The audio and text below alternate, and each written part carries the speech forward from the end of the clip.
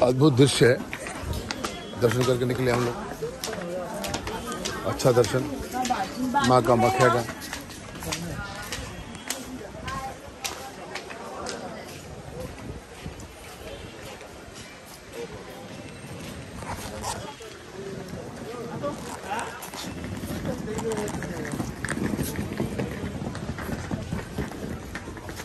सब लोग आ रहे हैं अपने अपने पंडित पुजारियों के पास। मैं तो क्या ही करूँ जी वो पर्ची भेजे नहीं मैंने।